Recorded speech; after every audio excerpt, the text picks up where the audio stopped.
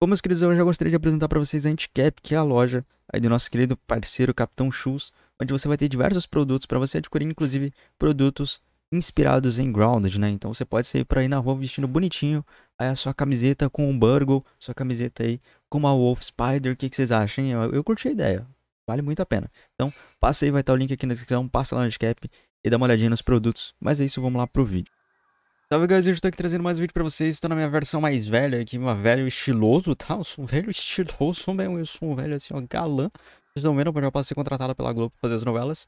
Mas é só pra trazer um vídeo diferente do canal, pra trazer aí um tutorialzinho, vamos dizer assim.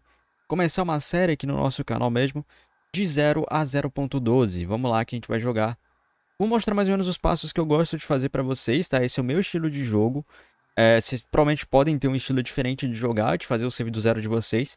Vou mostrar o meu estilo de fazer o save do zero, que é um save mais rápido. É meio que uma forma que eu faço pra rushar o jogo um pouco, rushar os laboratórios e chegar no final o quanto antes, tá beleza? Então, vou mostrar pra vocês mais ou menos qual que é o meu passo a passo do zero até a 0.12 e a gente vai ter uma série aí tutorial também na época que saía 1.0, né? Mais pra frente a gente vai fazer tudo da 1.0, beleza? E aí mais pra frente a gente vai ter uma noção também de como é que a gente vai fazer a jogatina até a 1.0, até a gente terminar a história do jogo, que a princípio vem na 1.0 mesmo, tá? Mas vamos lá. Do 0 a 0.2 a gente vai fazer o quê? Já spawnei aqui no meu mapa, tá? Esse vídeo ele vai ficar longo, essa série ela vai ficar longa. Mas eu já spawnei aqui no meu mapa. Eu vou correr aqui pra gente começar já a fazer os nossos itens, beleza? Não tem muito segredo esse iníciozinho, é você pegar aqui e analisar os máximos de recursos possíveis para a gente poder dar seguimento ali depois entrar no laboratório do Burgle e tudo mais. Vamos lá. Eu vou analisar os primeiros itens, vamos lá. Já deixar aqui, ó. Pronto, analisar principalmente a partezinha de fibra, que é a mais importante, vai dar a cordinha de fibra. A gente já pega aqui e já analisa a corda de fibra também.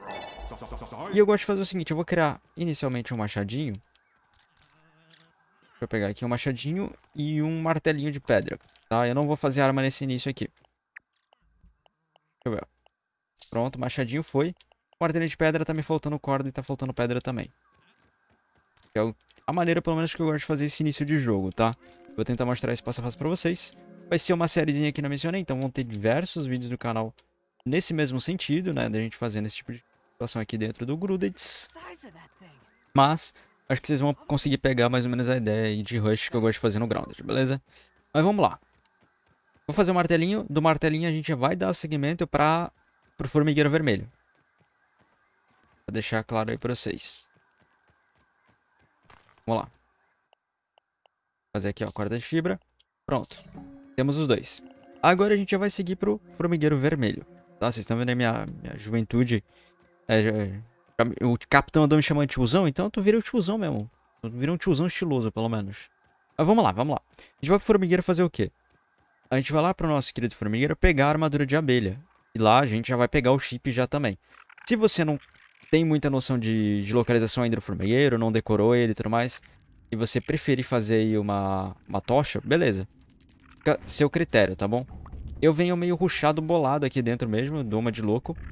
Porque início de jogo, acabo não ligando muito se eu vou morrer. Então só tento vir aqui correndo, passando por todo mundo. Pra ir direto ao ponto mais, mais simples dessa forma, tá? Ó, já vi que é uma soldier aqui, deixa eu dar uma estamina aqui. Pronto. Lembrando, pra você chegar à parte do chip, você tem que entrar no formigueiro e virar à esquerda, tá? Você vai chegar a essa partezinha que a gente tá aqui agora. Então, alguns tuneizinhos que vão te levar até o chip, inclusive uma das partes da armadura de abelha. a gente vai usar em vez de criar armadura nesse começo. Olha lá. Ela tá me seguindo igual doido. Mas vamos lá. Dá pra ignorar, dá pra ignorar. O problema é que às vezes eles têm esses ataques que eles saem voando pra frente e te dão dano. Eu acho isso mó bugado no, no Gruded, mas faz parte, né? Do nada você tá correndo, você já tá 3km da formiga e ela te ataca ainda assim. Vou tentar equipar rapidinho aqui, ó. Pronto, pra ter um pouquinho de proteçãozinha. Proteção da armadura de abelha não é tão gritante, mas... Pra esse início de jogo vai ajudar bastante. Se você nunca viu a localização dessa armadura de abelha, o bom é que você já tá vendo agora. Já fica nítido pra vocês agora. Vamos lá. A gente vai ter mais dois pedaços pra pegar, tá? Um, tá, vai, um vai estar tá aqui à minha direita já. A gente já vai chegar nele. E outro vai estar tá ali no meio, onde costuma ter bastante Soldier Ant. Mas um, um deles está aqui, ó. Tem inclusive uma região onde aparece fungo depois que você tampa o gás. Vamos lá. Pronto, peguei a máscara de abelha. Fechou. Vamos pegar o último pedaço da armadura de abelha e vamos vazar daqui. A gente já pegou a maioria das coisas. Tem um scabzinho aqui pra pegar. Vamos pegar o scabzinho já. Já estamos aqui mesmo, né? Fazer o quê? É mais rápido. Mas vamos lá. A armadura vai estar tá aqui, ó. O pedaço dela. Pronto. Peguei, já vou dar uma zarpadinha pelo lado. Não quero treta. Quero evitar o máximo de possível de treta. Pronto, coloquei a minha armadura. Agora a gente consegue voltar pra sair daqui logo. Já botei aqui... Fui aqui no cantinho e tal, colocar a armadura. Agora a gente já vai zarpar do formigueiro já pra não ter problema, não ter nenhum risco cair no buraco. Tem que sair por aqui agora. E dar a volta.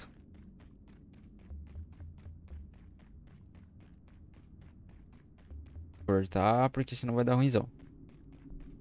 Mas enfim, saiu do formigueiro, beleza. A gente vai fazer os passos da máquina. A máquina misteriosa, né?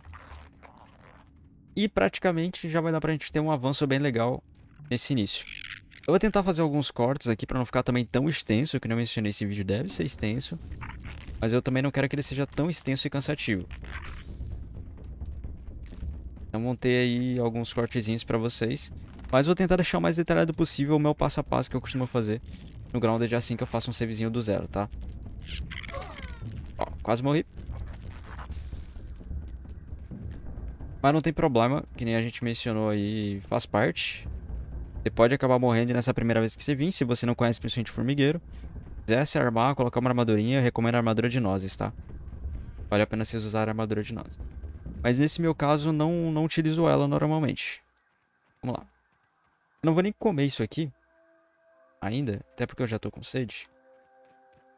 Deixa eu pegar aqui, ó. Gotinha. E a gente não vai enfrentar nada a princípio agora. Armadura de abelha dá, defesa? Pouca. Vocês estão vendo aí, ela dá uma barrinha de defesa. Mas pra ele esse início já serve, tá? Como esse início a gente vai pegar mais é o ácaro aqui e tal, já dá uma ajuda.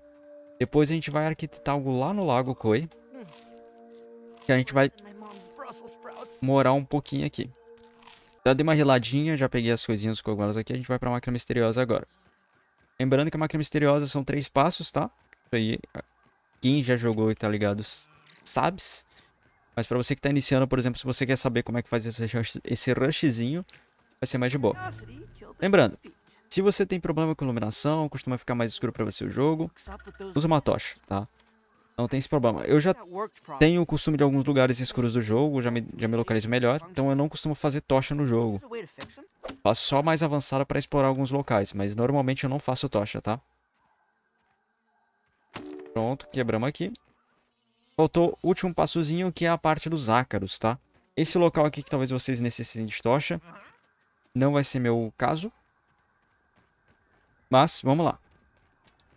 Pronto, voltei aqui, já tô aqui no, no bagulho dos ácaros. Eu tive que dar um cortezinho rápido pra vocês só por conta de um carro que tava passando na rua. Mas vamos lá, vamos matar os ácaros. Eu tô com a life baixa. Mas vamos tentar ficar de boa. Acho que talvez dê pra ficar de boa. Não. Não vai dar, não. Eu vou comer uma barrinha, vou lá. Vou ter que voltar pra comer uma barrinha só. Vou voltar aqui porque a life tá muito baixo mesmo. Mas se você tiver ali com a life de boa, você não, não foi que nem eu, tomou muito ataque lá dentro e tal. Pode ficar tranquilo que não vai ter muito problema pra você aqui, tá? E daí os acros dão um pouco dano, etc, mas de boa. Mas no meu caso eu tomei dois, três hits lá dentro das formigas soldiers, então... Deu ruimzão pra mim. Eu comer uma barrinha só. Pronto.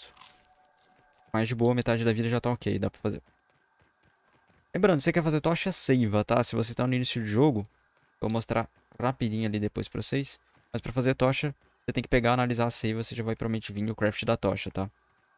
Já nesse início do jogo. Aí você já vai conseguir fazer uma tochinha. A de bolor também funciona, mas a de bolor ela quebra rápido e ela ilumina pouco.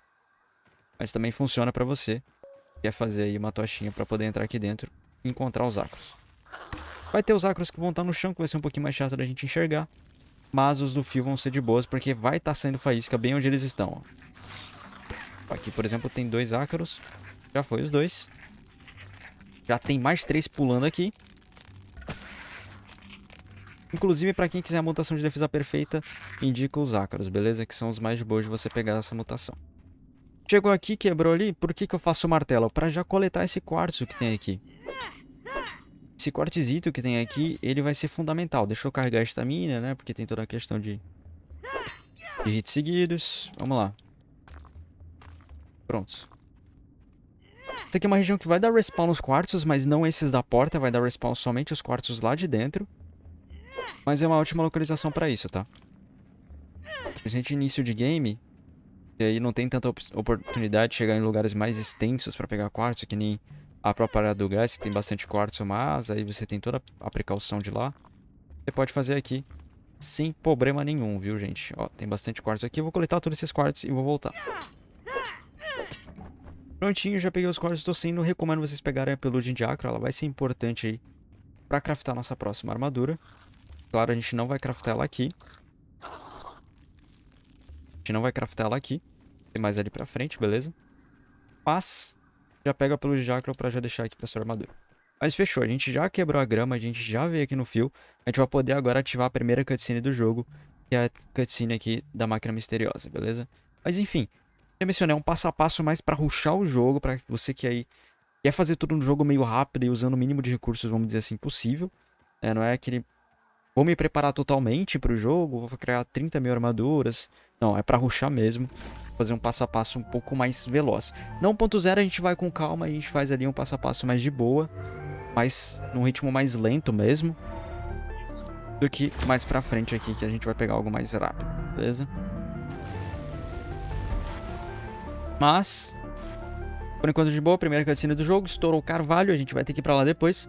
Mas primeiro a gente não vai lá. A gente vai em seguida lá. Por quê? Já vou mostrar pra vocês. O nosso destino agora vai ser um destino meio perigoso, mas muito necessário pra quem quer fazer esse rushzinho do jogo. E não ficar tão preocupado em pegar recurso, né? Não, ah, meu Deus, eu tenho que criar uma clava, por exemplo. Calma, velho. Não cria clava agora, não. Vai com calma, vai tranquilos. Vai tranquilos, não tem muito problema. Vamos com calma e a gente consegue fazer as coisas mais rápido, beleza? Com calma fazer as coisas mais rápido é estranho, mas vamos com calma para fazer as coisas mais rápido. A gente vai primeiro, já vou mostrar a localização no mapa para quem não conhece. Pegar a espada de larva que tem fincada. Pra gente ter uma arma inicialmente, para caso a gente necessite dessa arma. É, ali pra frente, de vez em quando, vem uma larva incomodar, vem alguma aranha incomodar, algum bicho incomodar a gente. A gente já tem a larva, a espada de larva ali. Pra ficar de boa, beleza? Então vamos lá, vamos pegar ela. Já vou mostrar uma pra vocês pra quem não conhece. É um easter eggzinho do jogo. É, referência aí a Excalibur, que é a espada fincada na pedra. A gente tem aí mais uma referência, né? Além da Koatana, que também é assim hoje em dia. Mas tá aqui, ó. Tem a espadinha fincada, a gente vai coletar ela. Para de larva apodrecida. E é basicamente nisso que a gente vai focar nesse rush do game, em coisas apodrecidas. Pra você conseguir rushar mais de boa o jogo. Beleza? Então vamos lá. A gente tem aqui, ó. A localização da espada, para quem não conhece, tá na parte de baixo do mapa, beleza? Pegamos, a gente já vai fugir ali pra frente. Toma cuidado, essa aqui é uma região que tem bastante lobo no jogo. Então tomem um certo cuidado aqui em vir por essa região, beleza? Ó. Eu mencionei para vocês que provavelmente já vinha alguma coisa incomodar. Já veio uma larva. Então, tomem um certo cuidado e por isso que é bom a gente já pegar essa espadinha inicialmente para esse caso aqui. Ó, veio duas larvas incomodarem. Eu vou tentar fugir. Porque são duas e aí a larva, espadinha de larva, ela não dá tanto dano. Eu vou tentar dar uma fuga aqui. Foi mais pro lado por conta do bombardeiro. Mas pra onde que a gente tá indo? Antes que vocês me perguntem, pra quem já conhece fica mais fácil. Você vai ir pra uma localização já conhecida no jogo. Que é o ritual de formigas. Pra quem não sabe, aqui na, na SEB, né, no arbusto, a gente tem no cantinho da parede um ritual de formiga sendo feito. Esse ritual a gente encontra a cabeça de formiga numa mochilinha. Eu, inclusive, quero verificar isso porque eu tive a impressão de que isso tinha sido removido. É da última vez que eu joguei. Mas também tem uma clava de formiga vermelha ali pra gente poder pegar. Então a gente vai pegar essa clava para que a gente não precise fazer ela, pra gente que não precise ficar correndo atrás de recurso, né, ir atrás dele, pô, vou ter que matar sou gerente, às vezes eu não sou muito bom em defesa perfeita, ela me mata. Isso só para fazer uma clava que a gente consegue nesse início de jogo. De graça, vamos dizer assim, né? Então vou dar um correzinho pra lá. Se você quiser, você já pode emendar e fazer a SEB, tá? A SEB não tem muito segredo, você pode fazer ela sem armadura, você pode ruxar a SEB, é possível ruxar a SEB, tá? Não é a minha ideia inicial, mas a gente pode tentar fazer isso aqui. No próximo vídeo a gente já inicia puxando a CEP, beleza?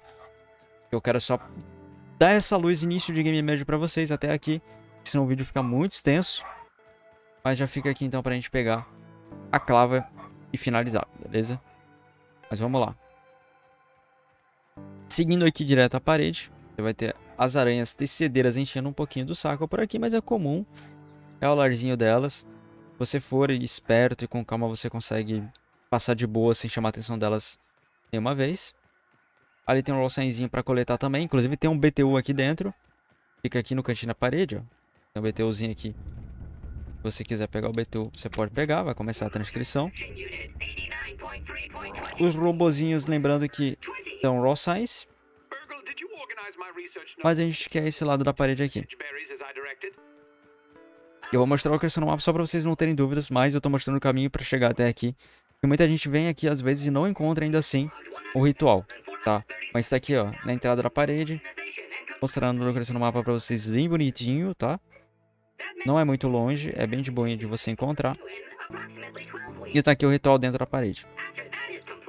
Ó, aqui a gente vai ter a nota, que é para fazer esse totem de formiga. A clava apodrecida, que vai ser a nossa arma até o final aí, quase do jogo, né? Até o final. E as cabecinhas das formigas vermelhas também, beleza? Clava tá com nós.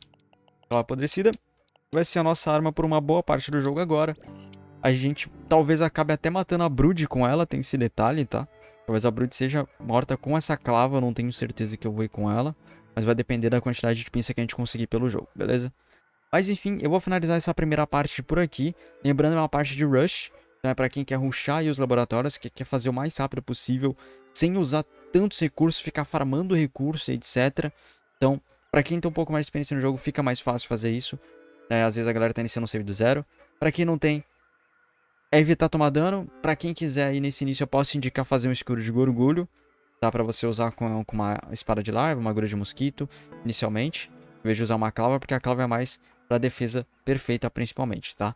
Mas vamos lá, meus queridos. Vou ficando por aqui. Aguardem que a gente já já continua isso e a gente vai fazer o laboratório da SEB e o laboratório do Carvalho, né, que é o Burgo, aí no próximo videozinho, beleza? Mas esse é o início dessa série. Me diz aí o que vocês querem ver o quanto antes, né? Vocês querem que a gente faça primeiro, de alguma, alguma preferência de vocês. Deixem no comentário, inclusive, como é que vocês costumam fazer esse início de jogo, beleza? Mas é isso, espero que vocês tenham gostado. Deixa o like, ative o sininho das notificações. É isso, agora falou e fui!